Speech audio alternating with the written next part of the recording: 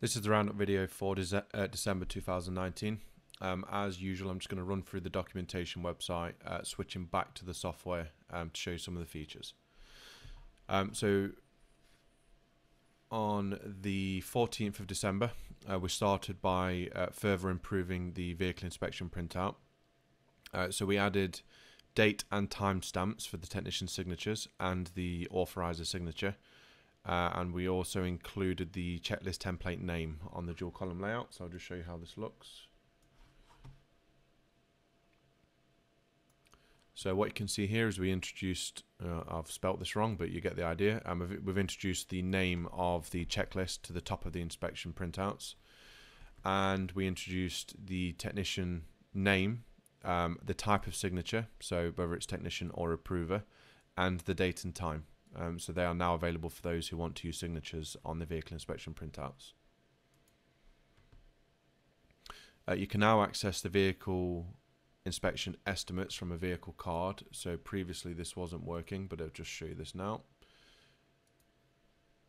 So if I access a vehicle card, go to related, uh, vehicle inspection estimates will now open a list of the previous vehicle inspection estimates.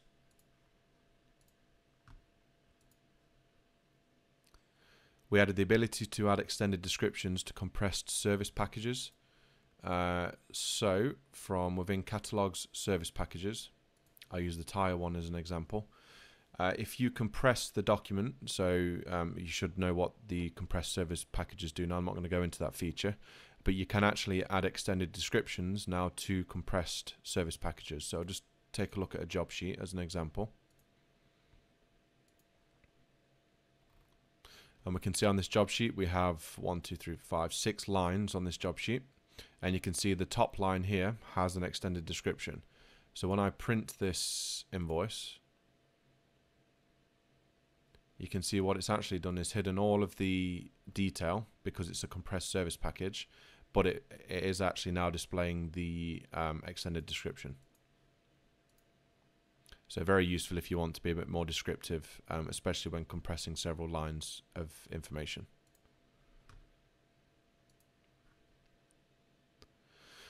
Uh, we made quite some improvements to the mobile device um, for surveys. So a lot of our users in the evenings were looking at their NPS surveys coming in. Um, it was a little bit clunky.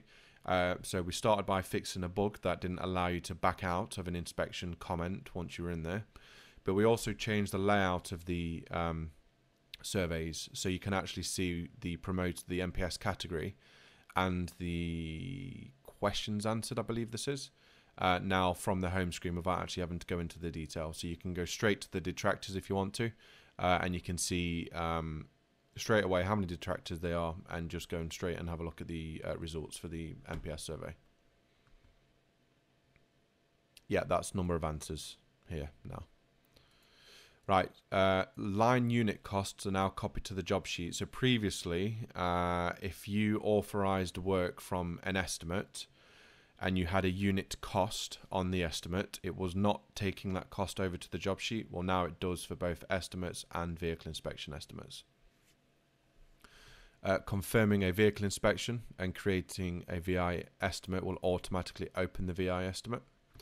So if we just take a look at this. So I've got a red tile. I'll go in, I'll take a quick look at the inspection.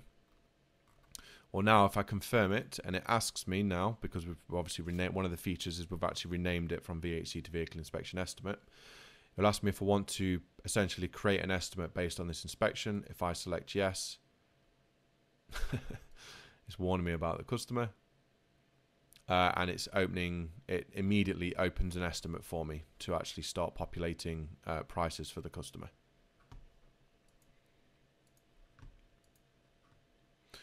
So one of the things you've probably already realised is we've renamed VHCs to vehicle inspection estimates um, completely across the system.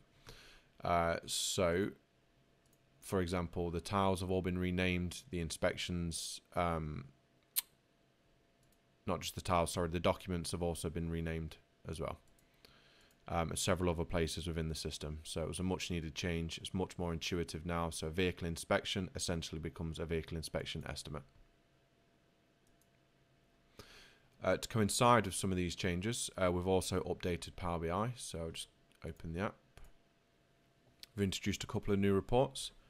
Uh, so we now have a report called monthly analysis, uh, monthly trends, sorry. And this will show you your efficiency, your average values, your VI estimate authorization rate, and your percentage of vehicle inspections and percentage of vehicle inspection estimates to job sheets. So quite a simple report, just looks at some very key metrics um, and um, just allows you to look at trends. Also filterable by branch uh, and by year. We updated the VI estimate, uh, the VHC report to now be VI estimate analysis. And we introduced a new report called vehicle inspection analysis. So this allows you to view the number of inspections you're doing over a period of time. Um, but in an earlier release, we um, added the ability to actually rank the quality of the vehicle inspection. So you can add an internal score to the vehicle inspection. So it introduces essentially introduces a new KPI um, to your technicians because a good quality vehicle inspection is much better for everybody, for the advisor and for the customer. So now um, you can score the inspections as they come in, and then you can report on the average scores of the technicians, and then have a look at the average scores over a period of time, and the number of inspections over a period of time, and then the scores of individual inspections as well. Uh, we reordered and renamed a few of these um, just to, for more consistency between the mobile version um, and the desktop version as well. Right, okay, so let's move on. So on the 15th of December, we added the ability to send surveys manually from posted job sheets. So I'll just show you how this works. So if we go to a posted job sheet, under actions, you see now when we select uh, any job sheet, we've got send customer survey. Now what this will do, it'll pre-filter to a particular job sheet and it will allow us to pick the type of survey. So if we've made our own surveys, we can now send them to the customers. Uh, we can send duplicates or not. So if they've already received one, they won't receive another one. Uh, you can select date ranges uh, and particular customers. So you can just run this report and send out multiple surveys to multiple customers over date ranges and whatever type of survey that you want. So a great feature. We added a labour audit report. Uh, this is especially useful for those that run MOT stations. Um, one of DVSA's requirements is that you compare your um, MOTs that have gone through your DVSA system to your management system to make sure that you are essentially invoicing all of the MOTs and there's nothing untoward going on. So to access this from the Service Advisor Role Center under Reports, Additional, there is a Labour Audit Report button. This allows you to filter dates, branches, the type of labour group. Um, in most cases, it will be MOT, and if you want to do individual MOT, uh, individual labour lines, then you can also do that here. I'll just show you what this report looks like.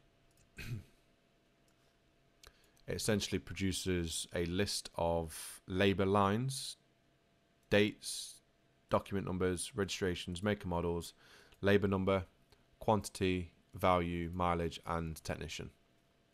So again, very useful for uh, a day end sort of process um, in making sure that your MOTs have all gone through your management system.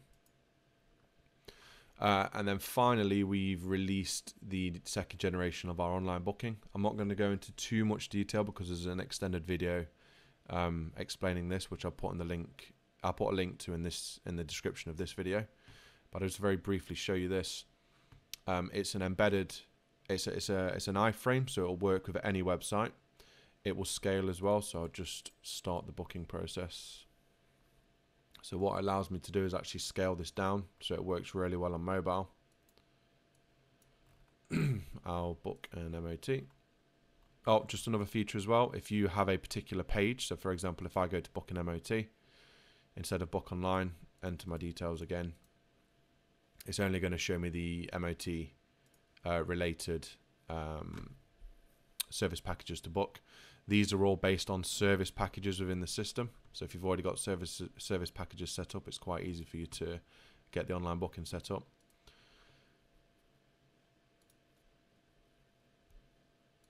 Uh, it's got a date, date and time picker. So you select a time, continue with the booking, enter your customer details. I'm not going to do this because this is actually a live system. And essentially, what you'll end up with is a tile on your service advisor role center uh, with a booking to review. Um, so you open up the booking to review, it will give you all the booking information. It will place the allocations, even if there are multiple allocations. So let's say the book to service, MOT, and wheel alignment. It will create three separate allocations, uh, one job sheet. It will populate the job sheet of all the information. It will text and email the customer. It will email the branch, and then you'll get a tile here. So you just have to review the booking, and then the tile will go back to green. So again, I, I highly recommend that you watch the uh, video on the online booking because it's it's very good. It's very clever. Uh, so that finishes off um, December uh, 2019 roundup. Um, we've got another quite a big feature releasing next month um, in January. Um, so it'll be the first major feature of 2020, which is a car sales module, uh, which the guys have been working really hard on. Um, it's really uh, close to uh, being finished. Um, so it's just in its final testing stages.